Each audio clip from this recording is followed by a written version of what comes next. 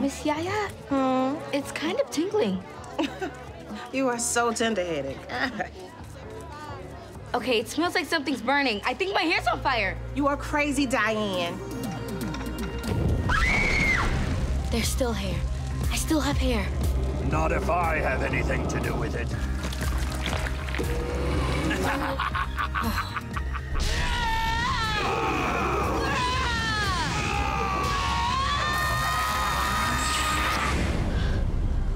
What's wrong? I'm never putting that stuff in my hair again. I am done with relaxers. Are you having a hair freak out? Here we go again.